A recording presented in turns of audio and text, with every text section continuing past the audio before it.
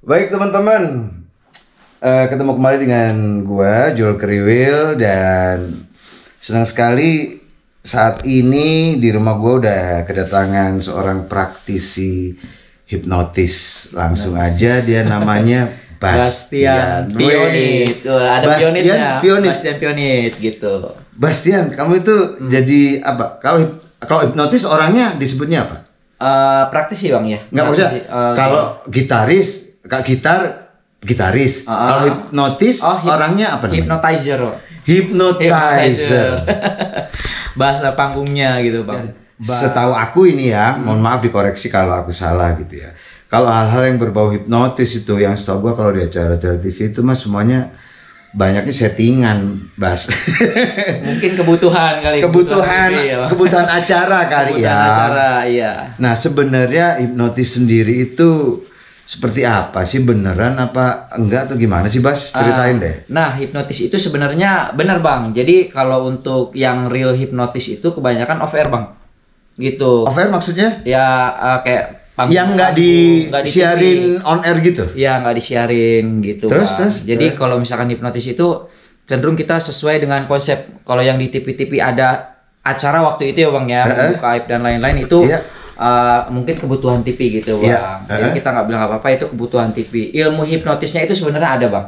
Oke. Ya, karena saya bagian dari uh, satu instansi yang namanya IBH bang. Apa itu? Indonesian buat hipnoterapi. Boleh kita cek. Nah ini ada kartunya bang. Oke, tunjukin di kamera. ini di kartunya. Oh. Nah ini ada member bang, jadi saya dapat member ini. Nah di sini ada uh, nomor regis saya. Kalau dicek di IBH nomor regis ini di Google keluarlah praktisi hipnotis di Bogor yang megang itu namanya Bastian. Jadi seperti itu. Istilah kata kalau dokter dia termasuk anggota ID gitu ya. Ya betul anggota ID-nya. Jadi ada anggotanya. Baru tahu lah ini gue. Gitu. Terus Oke kita balik lagi ke hipnotis. hipnotis ya. Hipnotis adalah cara berkomunikasi dengan alam bawah sadar bang. Oke. Jadi ada dua cara kita berkomunikasi verbal dan non verbal. Oke. Nah, berkata-kata dengan uh, alam bawah sadar. Ya. Nah, pertanyaannya adalah kalau kita ngomong seperti ini kan kita komunikasi kita uh, menggunakan otak kiri, Bang. Oke. Analisa, logika ya kan. Nah, kalau hipnotis itu lebih cenderung main di otak kanan. Imajinasi dan spiritual. Gitu, Oh, Bang. Oke, terus? Ya, nah bagaimana cara proses hipnotis itu terjadi? Kita harus membepas atau critical area di pikirannya itu kita bepas, kita ilangin saringannya. Mm-mm. Maka saringan yang nggak ada, dia akan masuk sugesti kita. Tep, ketika sugesti kita udah masuk, udah Itu akan jalan hipnotis. ya masuk apa aja bang masuk. Nah, itu Informasi misalnya nggak bisa disaring gitu. apakah setiap orang bisa dihipnotis? Setiap orang sebenarnya bisa dihipnotis bang. Nah, ada yang nggak bisa dihipnotis adalah orang yang critical areanya kuat atau Critical area apa? Biar eh, critical area itu adalah di rumah ini eh, tahu. blockingan bang. Jadi merasa punya prinsip sendiri, Ya. merasa punya eh, pokoknya ya kepribadian yang yang istilahnya kuat gitu bang. Oke. Tanpa bisa dipengaruhi. Jadi saya kayak gitu. Intinya adalah yang nggak bisa dipilih adalah orang yang nggak mau diatur bang. kayak gitu. Berarti gue ini termasuk orang yang nggak bisa diatur dong. nggak tahu deh abang pernah dihipnotis belum? Nah ini kan ada cerita nih. Ah. Pada satu acara di televisi Dimensi waktu itu kalau nggak salah, ada Ferdian. Oh Ferdian, itu Ya. member IBH juga itu Oh, gitu. senior saya mungkin dia. Nah, tanya deh Ferdian, Eh, dia inget deh kayaknya gitu. Waktu itu eh, acaranya malam gitu, terus Hmm. kemudian pada ada satu segmen di mana eh, pengisi acara eh, mau di iniin, dihipnotisin atau Hipnotis, gimana iya, lah gitu. iya, iya. Tibalah di belakang kan disiapin gitu lah ya gitu. Eh, Oke bang bang Riwil gitu gitu mau nggak? Ya udah mau gua gitu kan. Hmm. Udah gua santai gini. Yaudah berarti aku tes dulu ya gini gini dites sama dia. Hmm. Aku lupa deh waktu itu pakai alat apa enggak aku lupa. Nah kemudian dicoba terus. Wah nggak bisa nih gitu.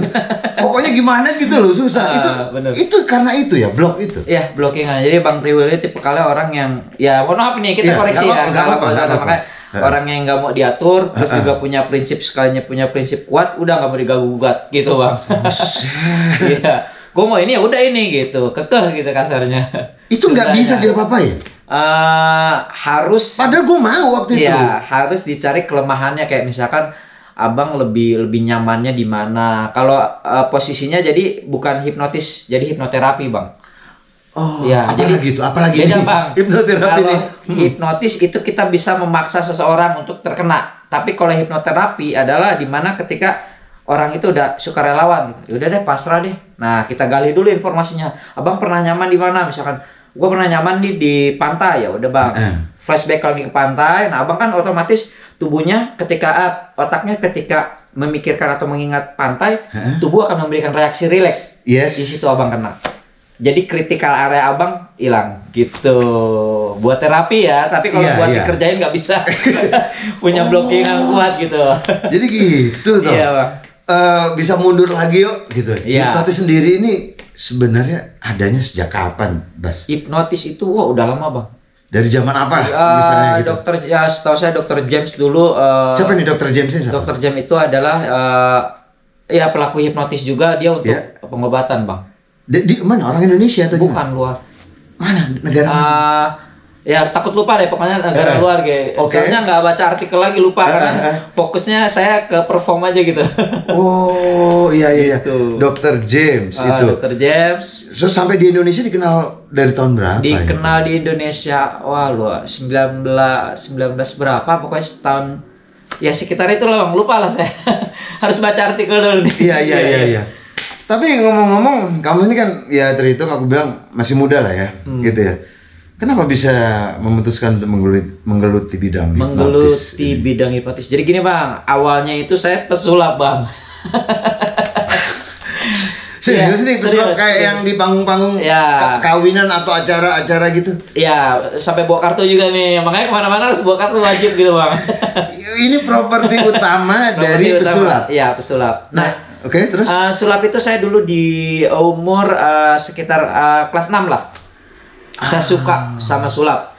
Terus saya nonton eh, mulai dari David Copperfield di Indonesia itu dulu ada Dwi Montero. Dwi Montero tahu, ya. Terus banyak ya Master Daddy mah udah terkenal. Iya, Dulu heeh. saya ber- eh, pernah beli CD Master Daddy itu yang masih rambutnya itu tuh kan. Eh, eh, di model, Ah, model eh, gitu. eh, eh. Itu CD aslinya itu tahun berapa ya? Itu pokoknya mahal deh. Audio doang atau ada gambar Enggak, sih dia ada gambarnya. Oh, itu oh, yang video ya, waktu dia buka trik itu lima trik itu tiga ratus ribu dis asli loh asli. Iya, tahu, Itu nggak ada bajakan dulu. Buset, itu Itu. tahun berapa itu? Ah dua ribuan berapa gitu lupa bang. Buset. Dari situ kamu memutuskan untuk jadi pesulap atau bagaimana? Ya dari situ tuh saya mulai dari mungkin dari 2005 itu kalau yang kecil mah waktu dari kelas 6 mah kita main sulap-sulap biasa gitu bang. Eh, eh, Nggak dapat eh. ilmu lah. Iya, nah iya. dari udah 2005 ke sana mulailah muncul banyak tuh sulap-sulap ya udah kita pelajarin beli CD-nya uh, Om Deddy ketika dia udah dibeli pelajarin pelajarin kita ulik sendiri bang. Akhirnya ya udahlah uh, ngerasa jenuh karena apa? Ketika kita manggung kita harus bawa properti gitu bang.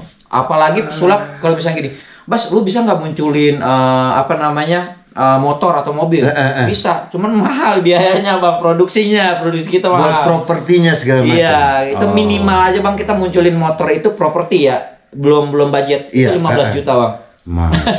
Belum kita nego ke ke IO-nya atau per- eh, ya pokoknya sekitar 45 tahu juta tahu tahu gitu. tahu Bang. aku aku Lebih makanya lah ya, ah, paham lah ah, bang lebih paham. aku nggak mau sebut itu tapi tapi aku lihat waktu Sekitar di ya. acara eh, broadcast itu ya TV itu ya Hmm, itu gila Eh, ada seseorang itulah istilah kata yang itu pelaku Hmm. itu udah terkenal gitu buset persiapan dan propertinya Wah luar biasa. apalah dan berikut rahasia-rahasianya lah buat di panggungnya itu Hmm.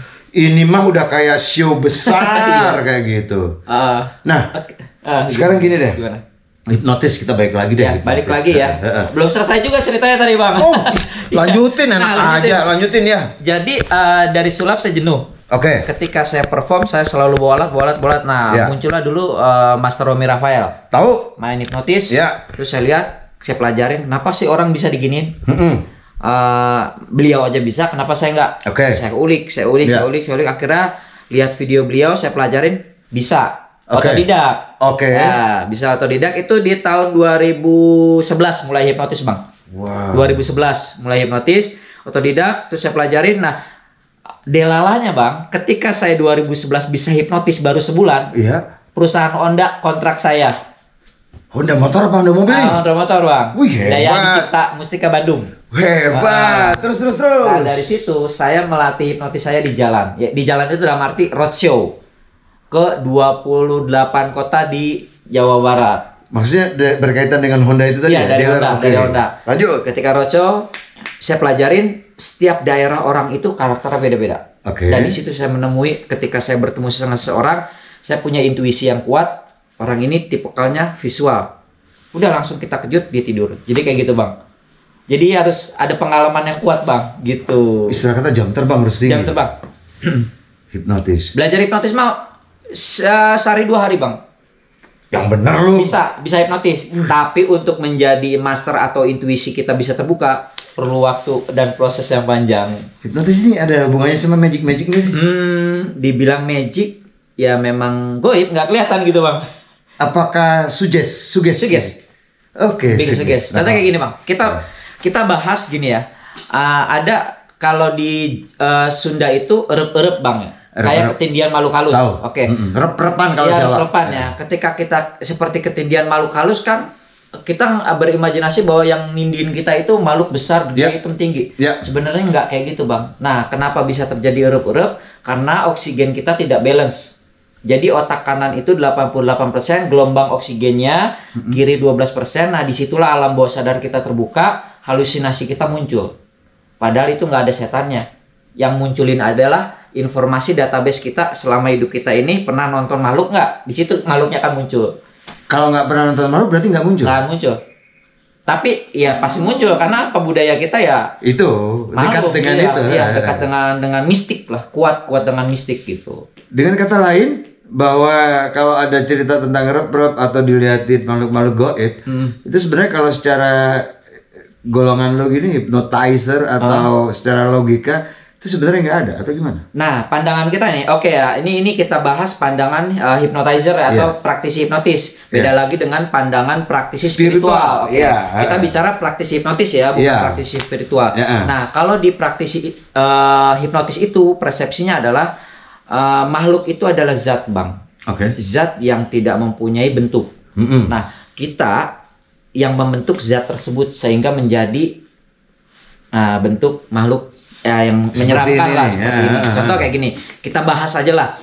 Ah, makhluk eh, atau setan ah, ya makhluk lah ya. Ya. Makhluk yang kasat mata di Indonesia dan di luar negeri beda, Bang. Beda. Beda, Bang. Bener. Ya kan? Nggak mungkin Abang tiba-tiba di sini kesurupan ah, serigala atau kesurupan Dracula, nggak mungkin, Bang. Iya. Karena nggak ada datanya. Nggak di Inggris Gitu. Iya, mungkin kesurupannya yang yang makhluk-makhluk uh, Indonesia aja. Nah, begitu juga orang luar negeri, Bang. Orang luar negeri yang apa namanya sugesnya ke Dracula nggak mungkin dia kena, kena Kuntilanak. Iya, kuntilanak nggak mungkin. Karena itu. Jadi balik lagi, Bang. Pikiran kita yang ngebentuk makhluk tersebut.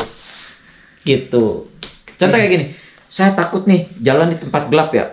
Terus takut jalan takut terus tiba-tiba pikiran kita ada yang putih loncat-loncat nih pikiran Iya, nih. pocong. Tuh iya, terus kita lihat pohon pisang itu sama kayak dia.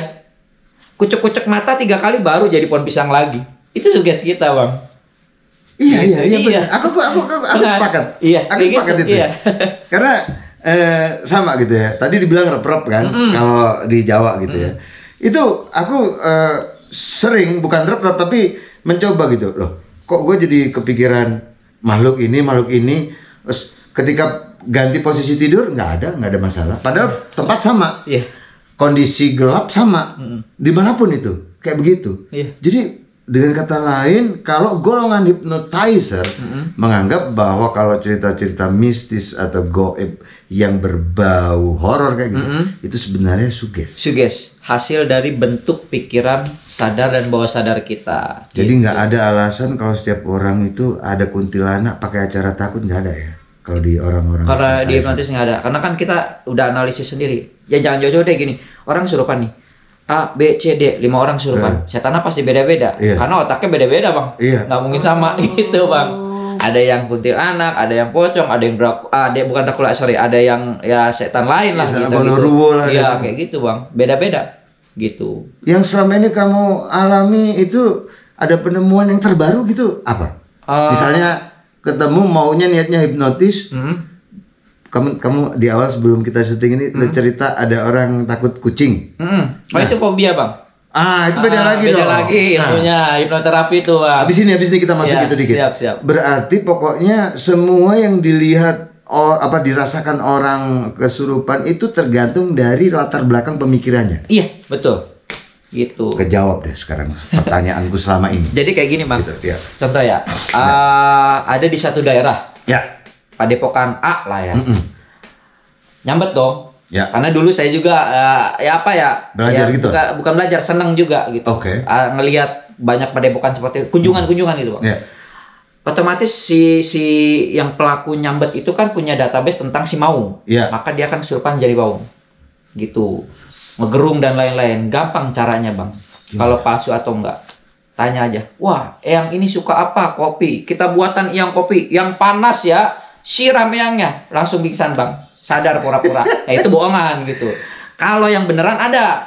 Beneran ada juga. Beneran Di- kesurupan maksudnya? Beneran kesurupan di padepokan. Nah, itu ahlinya yang bisa menjelaskan orang spiritual. Jadi seperti itu. Nah, kita ngebahasnya adalah orang kesurupan bohongan itu bisa ketahuan dari eh, analisis hipnotis gitu. Ini kita bicara orang kesurupan yang bohongan ya, bukan Iya, iya, kesurupan yang iya, beneran. iya. Yang banyak di konten lah. Iya, kalau kesurupan yang beneran itu yang bisa eh, apa namanya menganalisis itu adalah yang ahlinya spiritual. Jadi seperti itu. Bentar, ini kita ngomongnya ini ya, acak nggak masalah ya? Nggak apa-apa aman aman. Karena baru ketemu abang juga langsung dibikin video nih luar biasa. Aku tadi juga ini Ah. eh, apa pemikiranku lah pesulap kan itu gue pikir lu musisi Iya, atau apa. temen-temen, eh. Ada temen kita yang Bener, temennya dia gitu. Dia anak musik. Aku pikir dia sama gitu loh guys gitu. Ternyata ya seperti Bastian ini hypnotizer. Eh, gini, aku tadi mau nanya apa ya? Gini, sebelum kita lari ke fobia, Hmm, hmm. eh hypnotizer dengan pelaku spiritual. Hmm. Ah, Oke, tadi barusan aja di- kamu udah ceritain. Nah, kalau anak indigo, apakah itu halu Hmm. ataukah memang ada namanya indigo yang dia katanya bisa ngelihat ah lu ini eh, ada yang ngikutin makhluk A, makhluk B, makhluk C. Hmm. Kalau dari sisi hypnotizer melihat itu, Nah, ah, ini bakal jadi kontroversi banget. terserah ya. Nggak, soalnya tapi kan Iya, logika kita aman. nanya. Kita main logika kita ya. main bukan logika main ya. yang, yang uh, persepsi orang beda-beda. Iya. opini ini opini. Iya, betul betul. betul. Gimana gimana, Mas? Jadi banyak yang mengatakan orang indigo itu kalau di Islam kita bicara Islam ya, Iya, itu uh-uh. adalah uh, penyakit karena apa? Dia ditempeli energi sehingga energi itu connect dengan energi lainnya Iya. sehingga dia bisa melihat makhluk-makhluk yang kasat mata. Jadi seperti itu. Heeh. Oke, itu di dalam dunia keislaman. Nah, Iya. kalau di dalam dunia indigo itu sendiri, ya karena dia yang tahu sendiri, Bang. Gitu. Hmm. Oke, di dalam kacamata hipnotis halusinasi Nah, yang kan? dibuat-buat. Kan? Bang, iya. karena ya mohon maaf gitu loh aku ya, ya, aku sih bukannya kontra tapi Hmm. terkadang aku berusaha apresiasi kan apa pun kebiasaan seseorang Hmm. cuman kadang nah kok istilah kata sama gitu bahasa yang digunakan sama Iya. pendekatan-pendekatan eh, itu sama ketika seseorang itu misalnya tanya tentang saya pribadi Hmm. atau siapa temen gitu. Aku jadi mikir kayak ini apa sih lu berusaha masukin suges lu ke gua atau gimana? Yang gua rasain sih gitu, Bas. Hmm. Iya, itu iya. kayak waktu itu Ferdian nganu gua, "Abang lu susah banget sih Bang kayak gitu." Ba eh Fer, gue pengen gitu. Ah. Iya tapi lu susah gini-gini. Istilah waktu itu kalau nggak salah bilangnya Lagi main itu ya, Ah, lagi main itu. kumpul-kumpul Lagi ya, kumpul. bukan di acara ya. Bukan, ah. eh, persiapan kan Oh, persiapan, gitu. Ah lu susah bang bener bang gitu. Aduh gagal deh gua gitu. Padahal gua pengen banget bas gitu. Bener bener. Oh jadi intinya oke lah aku ngerti lah maksud lo gitu. Hmm. Nah sekarang kamu sendiri sebagai hypnotizer eh, apa nih visi misi lu ke depan selain lu biasalah kerja Iya, untuk perform panggung perform ya. panggung, apakah kamu buka, buka praktek untuk masuk ke fobia-fobia itu tadi orang bisa datang ke lu untuk berobat? Iya, kita buka bang. Jadi gini, eh, sekarang kan lagi musim pandemi ya bang ya. Iya. Udah beberapa tahun ini. Dua job, tahun. job ya, job manggung itu ya nggak stabil lah. Ada Iya. tapi nggak stabil, nggak Iya. seperti yang lalu-lalu. Jadi Iya. Kita larinya kalau hipnoterapi dulu eh, sekarang ini bukan ke panggung lagi tapi ke hipnoterapi. Panggung masih ada kemarin Iya. juga baru perform. Panggung kita masih ada, kita pertahankan, konsep juga kita perbarui, terus juga kita sekarang lebih lari saat ini itu ke hipnoterapi sama pembelajaran hipnotis. Kita ngelatih juga bang. Oh, buka Un- kelas buka kelas untuk eh ini hanya masing-masing untuk kebutuhan iya, masing-masing. kebutuhan masing-masing kayak kayak gini eh, ada di sini murid saya yang yang setia banget sama Ya. saya dia buat eh, ngebekam hipnotis buat ngebekam jadi hipnoterapi buat ngebekam Apa urgensinya bekam butuh oke hipnotis? nih, Nah, nih kan seru nih Pertanyaannya Oke. kan gitu. ada orang yang fobia takut jarum suntik sama darah dihipnotis dulu baru dibekam. Itu bang. Oh. Karena dia dia gini sorry saya potong lagi bang, Iya. yeah. bang ngomong. Karena dia sebelum belajar hipnotis atau hipnoterapi menemui kliennya takut darah, takut disuntik, Iya. terus juga punya ketakutan yang kuat. Nah dia belajar sama saya yang namanya Adi dia, Kang Adi itu belajar sama saya. Jadi eh misalnya gini, di kontak dulu nih di WhatsApp, gimana mau dibuka nggak? Eh, mas saya takut jarum suntik nggak apa-apa kita hipnoterapi. Di hipnoterapi tuh sama dia tuh. Dia selesai, langsung diliatin jarum, disuntik, aman kan biasa aja aman ya udah langsung di di kop semuanya Oke. darahnya dikeluarin semuanya Dicolokin jarum dulu kan, iya, tapi, iya gitu. Oh, kepentingannya untuk itu. kepentingannya untuk itu Berarti kalau kamu guys semua kalau ngelihat video-video kemarin zaman vaksinasi, ya ada mau divaksin lari. wah itu sampai Dipegang. ya yang badannya gede ada yang aparat ada juga. aparat juga Udah kan. gede. Lucu kali aja. Iya. Itu harus dihipnotis dulu kali ya. Iya harus bang, karena apa ya? Ya apa ya pikiran itu nggak harus memandang badan gede bang. Iya, badan iya, kecil kalau nyalinya gede wah luar biasa gitu bang, Iya, gitu. iya, Jadi percaya. intinya adalah power di tubuh kita ya, bawah alam bawah sadar gitu bang. Satu lagi nih. Siap. Menghipnotis orang supaya bisa move on, lupa sama mantan. Sering nggak dapet klien gitu? Ah bang Kriwil keren nih pertanyaan. Bisa dong. Bukan bisa lagi bang. Wah pengalaman banyak bang. Anak-anak yang galau tuh bang, yang Iya. baru lulus itu, wah Serius. Iya nempel terus ke kita bang. Minta Untuk- minta tolong untuk ngilangin uh, pemikiran dia terhadap mantan gitu. Karena disakitin sama cowok. Karena cewek itu kebanyakan Ya nggak kinestetik. cowok, nggak cewek aja dong. Iya, gitu ya. yang saya temuin, yang Iya. saya temuin. Uh, apa namanya? Yang uh, cewek itu kinestetik. Kebanyakan. Kinestetik itu adalah tipikalnya perasa. Oh, sensitif itu, eh, touchy, touchy gitu. Iya, iya. Eh, Jadi kayak misalkan kalau mau ngedapetin nih cewek, ya dirayu dulu, sentuh Iya. dulu hatinya. Itu Iya, nyanyian iya. sentuhlah dia Iya, tempat iya. di hati itu Eh, bener, bener. Eh, eh, eh, bener. Jadi ketika dia sudah nyaman, baru kena. Apalagi kalau hipnotis buat hipnotis cewek, wah itu gampang banget bang. serius, gampang ya? serius gampang banget. Kali karena dia lembut gitu. Dia gitu ya. lembut, masukin pelan-pelan, cari hobinya apa, makanan kesukaan apa, terus berikan perhatian. Ya tiga tiga hari udah jadi pacar bang. Buat sih. Lu suka modus ya kali kayak gitu. Lu gampang banget dong dapet cewek berarti, Bas. Iya, istri saya bang, istri Itu saya bang. hipnotis? Bukan hipnotis bang. Di, pro- di program bang. Eh, bininya Bastian gitu. Sadar, sadar. Belum sadar sampai sekarang. anak dua nih. Sampai anak dua belum sadar. Belum sadar. Ya, mudah-mudahan jangan sadar deh. gitu. Sampai kakek-kakek, nenek-nenek. Amin, amin. Jadi gini bang, eh, kenapa saya program? Saya program, saya niatin. Heh. Ya, tentunya kita dengan dengan dengan apa namanya eh, kepercayaan kita juga. Ya Allah, saya yakin tahun ini mendapatkan eh, Istri. istri. Udah, tiba-tiba ditemuin di satu pengkajian adalah pengkajian ya Hipnotis bukan pengkajian eh, ilmu agama. Heeh. Ada cewek satu, terus saya liatin tuh mukanya tuh, terus saya tembak langsung. Saya yakin jadi pendamping kamu. Udah itu aja. Los, pulang. Seminggu ditemuin lagi sama Allah tuh. Heeh. Dat, minta nomor telepon. Dari seminggu itu saya minta ke rumahnya dan langsung saya Lama. tunangan, tunangan dulu. Cewek itu kaget, istri saya kaget. Top, top banget. Sebegitu cepatnya. Buset. Ya, karena kita udah niat, banget udah ya. diprogram, dia mau. Nah, setelah satu minggu eh, kita udah tunangan, orang tua saya bawa, Iya. ya udah, udahlah rame-rame. Pulanglah, kita kerja masing-masing. Saya perform biasa eh, entertain lagi. Dia waktu itu kerja di satu perusahaan. Udah itu saya minta waktu Heeh. setengah tahun, Heeh. langsung nikah. Pacaran nggak bang? Pacaran cuma Ya, sayang telepon siap. aja bang, karena saya di luar kota terus gitu. Sure terus. Jadi seperti itu bang. Top banget. Luar biasa. Berarti ini sosok hypnotizer yang positif. Positif. Nggak digunain untuk hal-hal yang aneh-aneh. Nah, satu Ya, lagi. ya, ini kita bahas modus ya bang ya. Satu lagi abis Gimana, itu udah gimana? deh. Iya, Nggak apa-apa iya, ya. siap, Masih siap, ada aman. waktunya aman, ya. Aman, aman. Tadi eh, tentang eh, move on, lupa mantan udah. Hmm, Terakhir dengan majunya perkembangan zaman dan Hmm. kemudian banyak juga orang yang terimbas pandemi, Hmm. eh, PHK sehingga angka kriminalitas naik. Ya. Ada bentuk kejahatan yang dari dulu sampai sekarang itu namanya gendam. Mm-mm. Itu kan kayaknya sama kayak hipnotis deh ya. Oke, siap.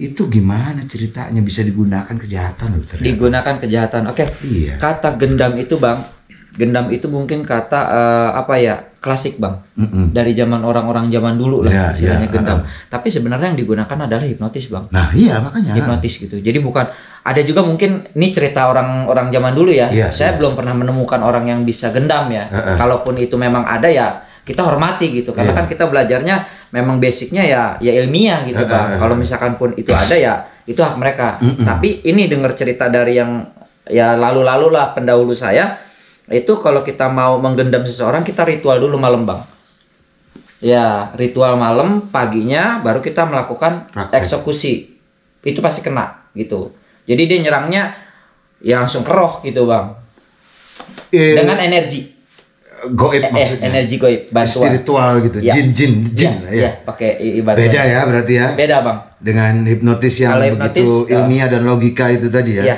ilmiah kapan aja di mana aja bisa mau Hmm. lagi makan mau lagi ngobrol pokoknya kalau hipnotis udah ngobrol 1-2 menit ditepak udah pasti sare kalau bahasa Sunda ya tidur, Tidur, ya. jadi kayak gitu bang Set lihat tisu dibakar plak ah settingan oh iya boleh boleh itu punya orang Iya punya orang. Lu jangan tisu dibakar rumah. Sayang, Bang. ya ya.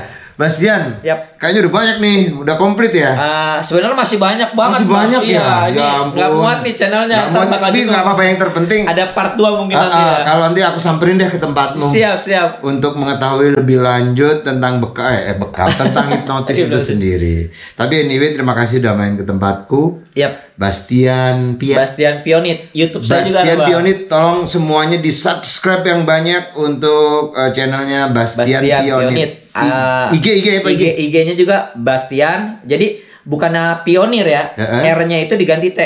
P I O N I T. Iya, pionir. Pionit. Iya, karena Apa kan sih artinya pionit? artinya adalah ketika pionir itu kan pelopor Heeh. eh, eh, penggagas Pe- pokoknya eh, yang pertama. pertama lah ya.